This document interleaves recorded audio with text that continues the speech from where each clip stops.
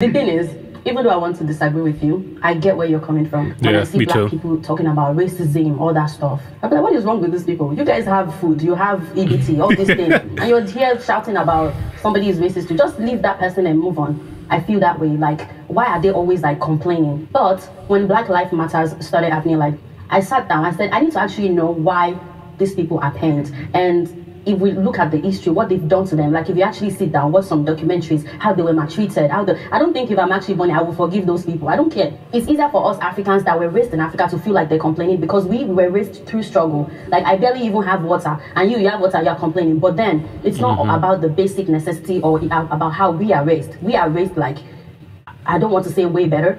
We might not have resources, but there's some way, like our own um, people will not look down on us or put us behind. So it's in their their nurture that way. Like they just can't overlook it. And if you sit down and watch everything that the, the forefathers have been through for you, I changed my mind. No, they